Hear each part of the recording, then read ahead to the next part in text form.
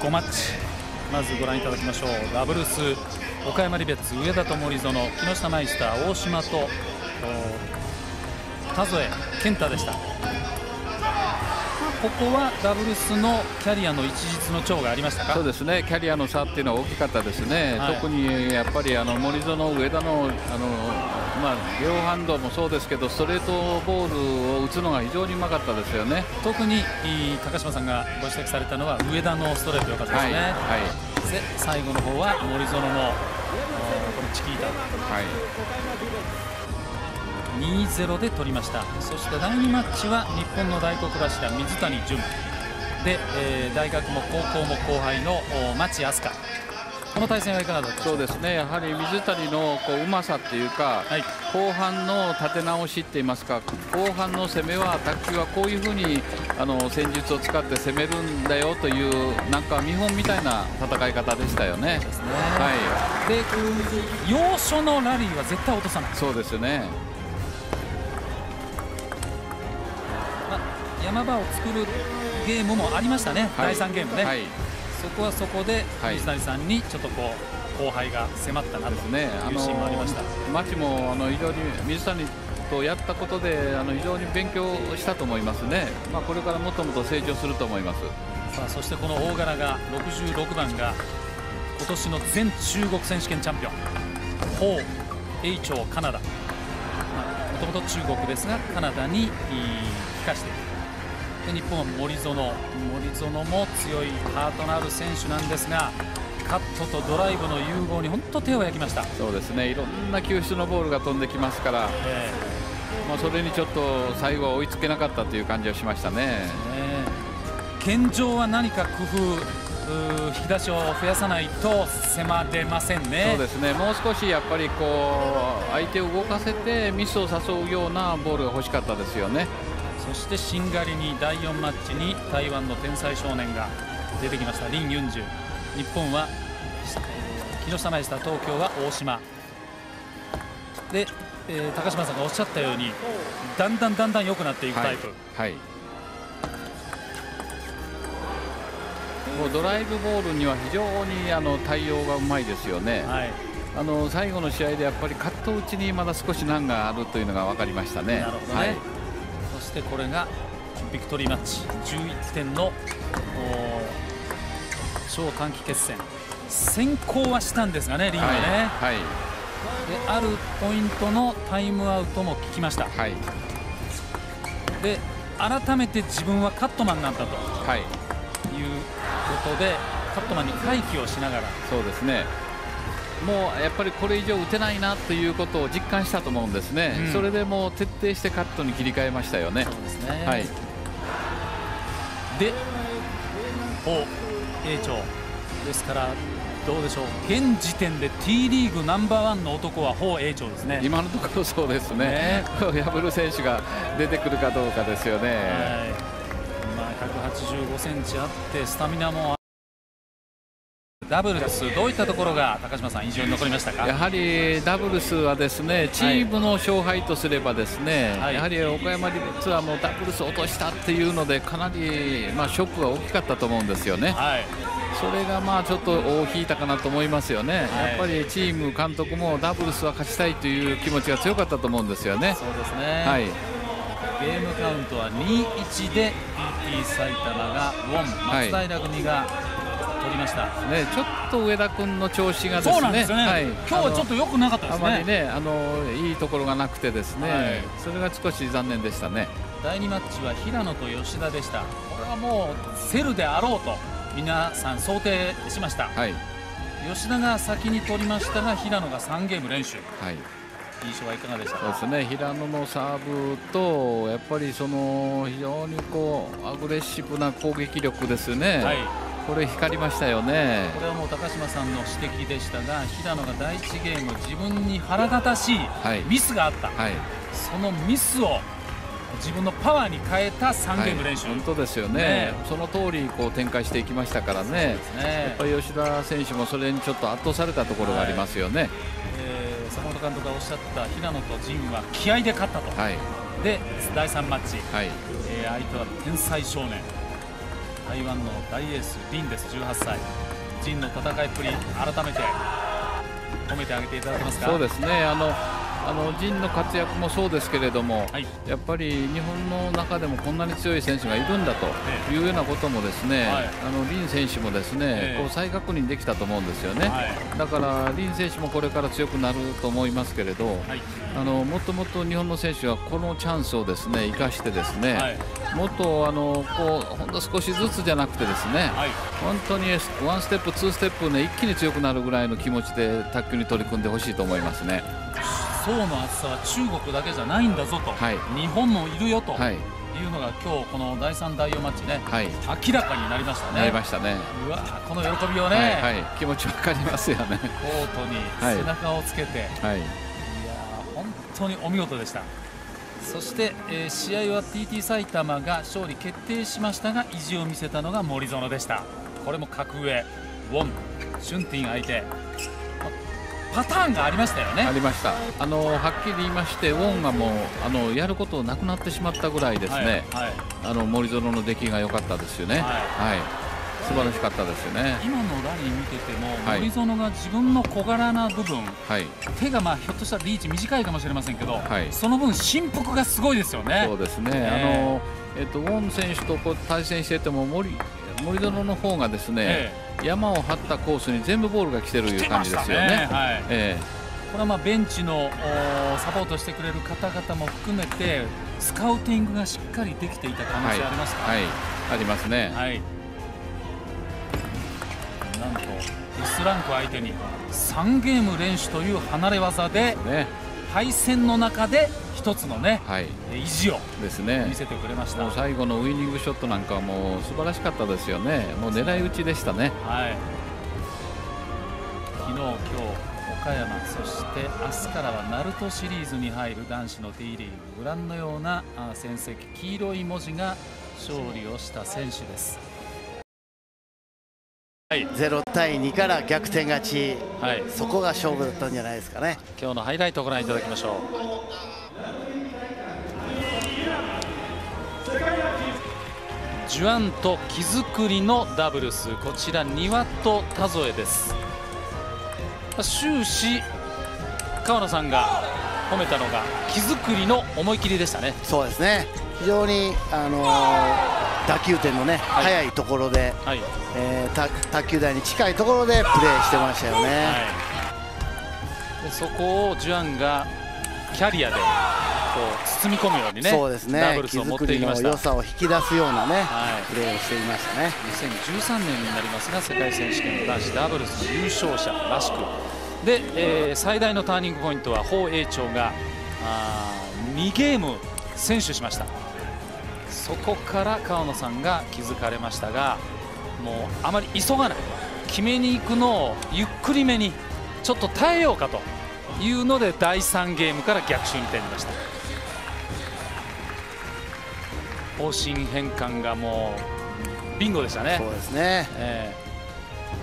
ー、懐の深さというんですかね、引き出しの多さ。あそういうのを感じましたね、はい、彭英長の快進撃を止めた試合でもチャン監督は朱さんはすごく粘りがあるんで 2, 2ゲーム取られても私は焦ってなかったって言ってますけど。そうですね、えー、おそらくそういうあの、はい、考えがあったので、うん、いいアドバイスもできたんじゃないですかね。可能性ありますね、まあ、ここが取られたであろうもう2ゲーム選手のところからが大きかったですね。ね本当に見事なゲームでした、はい、もう世界トップクラスのマッチでしたね。はい、でえー、第3マッチは丹羽がチェンに競り勝ちました。チェンもチャンスありました。そうですね、えー、頑張ったんですけどね。バックハンドをうまく使ってね、えー、こういう惜しい試合に負けると寝つき悪いですか？正直 そうでしょうね。まあまあそういうことが何度もあるのが卓球選手ですよね、まあでも丹羽のこの貫禄もほんのわずかの差の中に意外と大きいんじゃないかなと思うようなところもありますね。ワールドランクは11位です。丹羽がチンを退けました。苦戦しました。そして大島も成長の度合いを今日の試合でもこの長いサーブ YG で見せましたね。第1第3取りました。最後までね、ね、大島のあの長いサーブの精度がね、はい、もっともっとあれば、はい、また違ってたと思うんですけど、ね、維持再現がされていれば取ってましたね。そうですね、ね、特にあの最終ゲームの1本目のサーブミス、はい。あそこでなんかね一気に向こうにジュアンに持っていかれましたね、ね、次も取られましたもんね、はい、はい、まあジュアンも途中から逃げ、まあ、開き直ってね、ね、最後長いサーブが効きましたよね、はい、自分が書く上であるんですけども受けるのをやめましたね、はい、そういう方針変更ができるというのが素晴らしいチャン和弘さんが率いていらっしゃいます。それでは今日のこのビクトリーマッチにもつけ込んだ試合ハイライトシーンをご覧いただきましょう。ダブルスはジュアンとチェン。岡山リベッツは森園とサンベでした、えー、2-1で琉球アスティーダ取りましたが外境はいかがでしたか？そうですね。やはりなんかチャンピオンペアのね、はい、貫禄というんですよね、はい、ここというポイントのところで、はい、えー、琉球アスティーダのアスティーダの方がポイントできてましたよね、特に第3ゲームのジュアンのバックのチキータですよね、ね、ここ勝負というところにね、はい、いいプレーをしましたよね、ここ勝負の時に一撃で決められる仕留められるっていうのがすごいですよね。そうですね。この第2マッチの第1ゲームは競りましたが結構緊張してたんだって今インタビューで言ってましたね。はい、しかし吉田を3-0で一周しました。ちょっと力の差がありましたかね。そうですね。あのー、今のカット打ちなんですけど、はい、待ち待ちすぎましたね、吉田は、はい。はい、ボールを落とすと余計に苦しいんですよね。打球点の研究が必要ですか、しかしこのカットはもうね芸術品ですね。第3マッチあ失礼これはまあまだ吉田と主の試合ですカットマンというとね相手に攻撃をさせてミスを誘う戦術戦い方なんですがまあ今のねカットマンはもう攻撃もしてオールラウンダーといった方がいいかもしれませんね。はいはい、一人で防御と攻撃自在に操れる、はい、ということですね。逆にこう攻撃マンですカットもしますのような形だと思いますね。こ第3は上田陣と木造りです。若い19歳の木造り。上田陣上田陣が2ゲーム取って第3は木造り取りました。そして第4ゲームを上田陣が取った展開です。まあ上田のね、はい、打球点の速さが光りましたね、はい、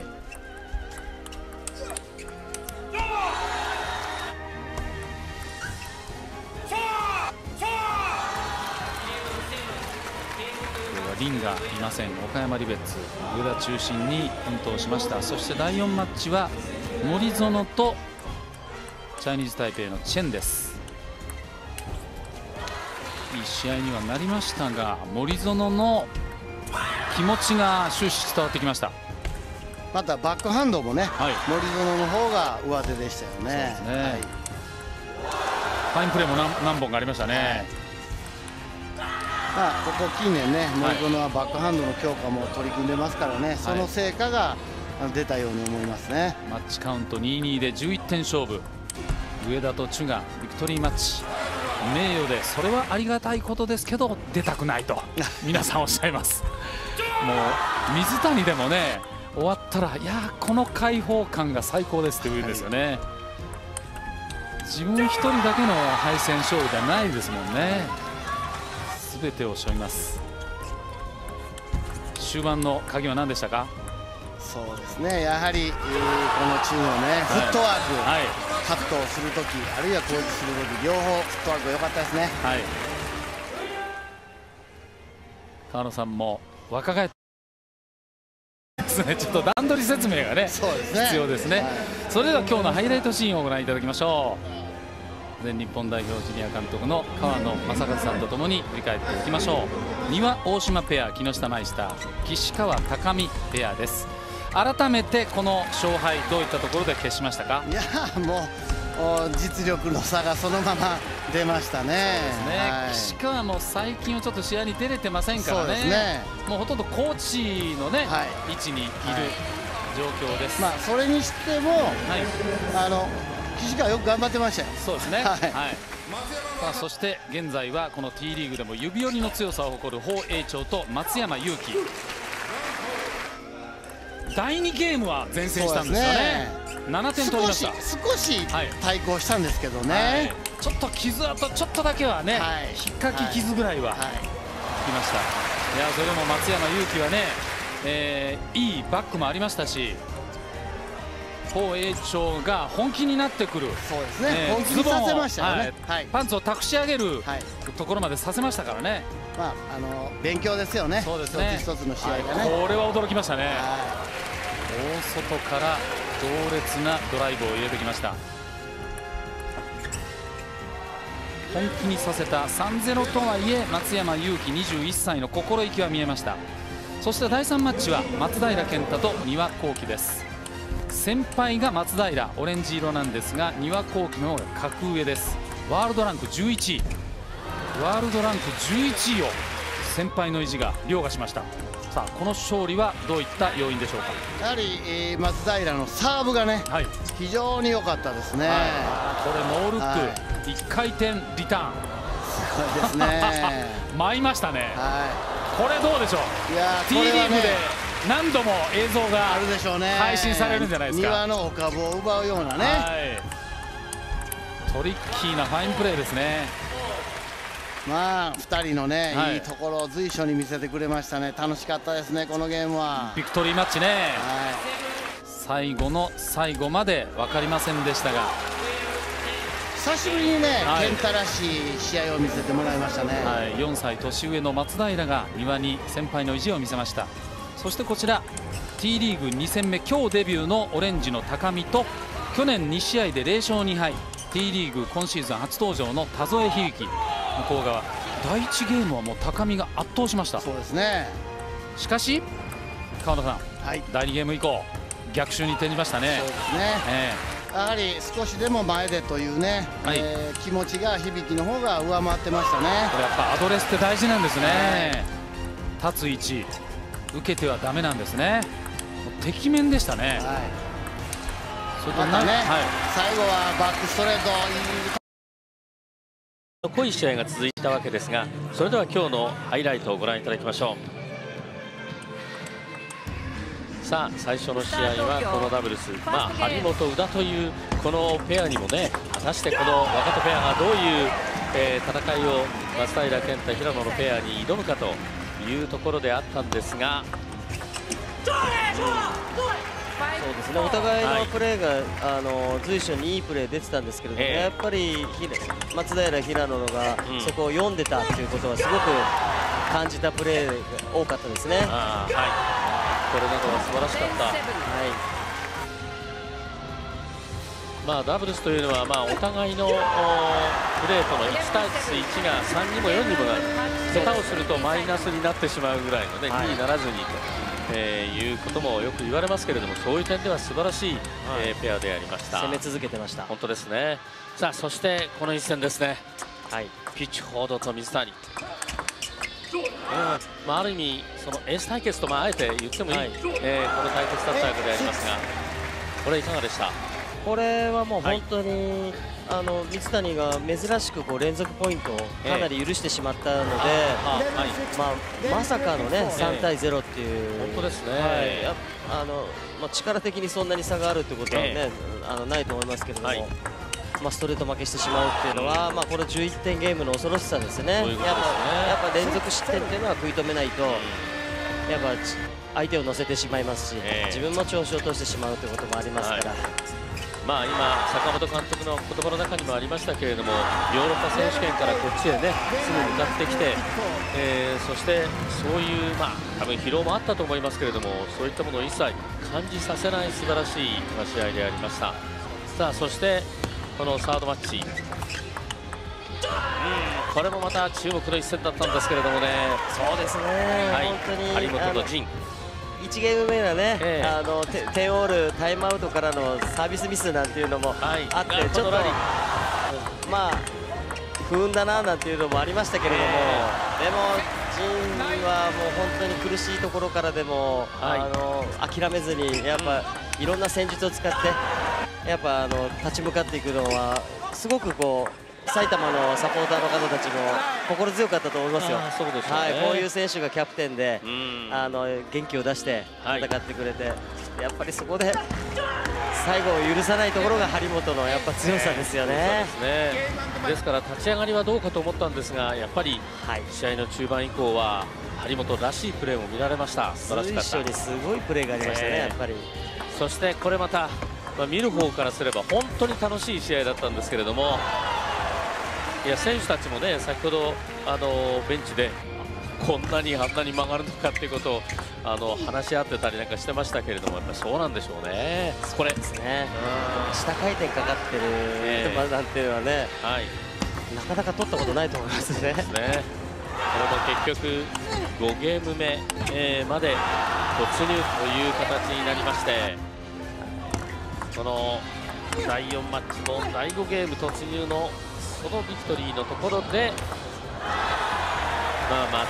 えー、松平健太選手がこの保栄長選手を振り切ったという形になったんですが、まあ、攻めの姿勢が最後まで出ていたというこの勝利の瞬間でありました。そうですね、えーまあ、結局3対1で TT 埼玉がディフェンディングチャンピオンの木下マイスター東京を破りました。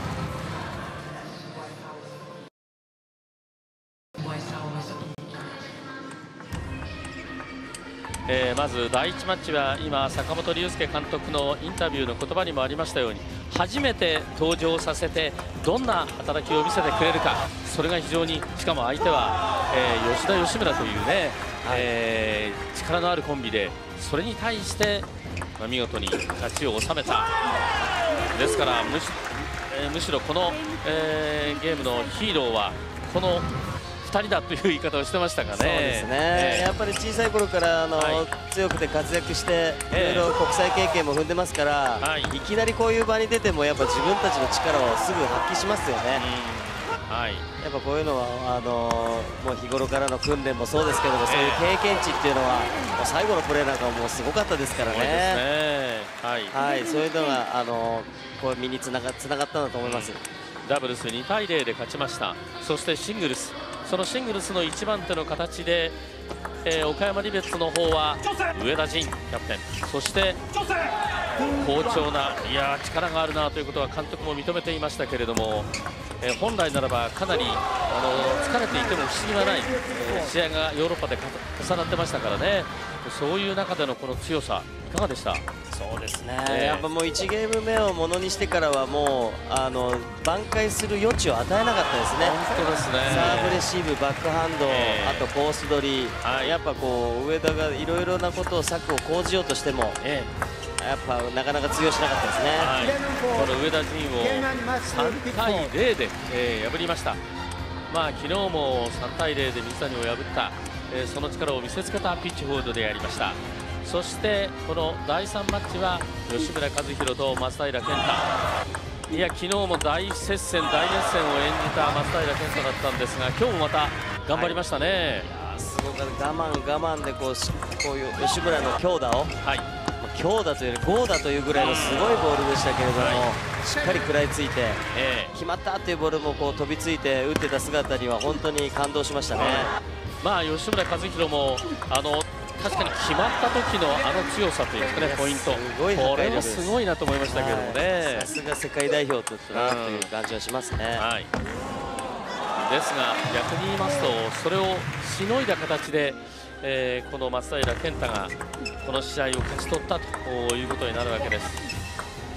こういったあたりは本当に吉村和弘のね、はい、あの能力の高さといいますかね力の高さをね、ね見せつけるようなもんでしたが。はいこれで決しましたこれがこういうね最終ゲーム6オールからとかっていうとこういう一本勝負っていうのがこう野島 T リーグのこうまた魅力でもありますよね。そうですね結局3対2という形でしかも最後はファイナルはまあデュースになってという形でした。えー、増平健太が勝った後キャプテンの陣拓也が登場そして後輩松谷飛鳥との一戦。これはまあどっちが勝ってもおかしくないような正直言って展開でしたけどもね。そうですね。勝利者インタビューでも本人が言ってましたけども、はい、やっぱりあまり分が良くないんだと、えー、だからっていうことでともあったと思うんですけどももう終始向かっていったっていう姿勢がやっぱり後輩相手でも関係なくこうやってガッツをむき出しにして戦ったっていうのはもう。えーあの素晴らしかったですね。本ですね本当にジーンときました。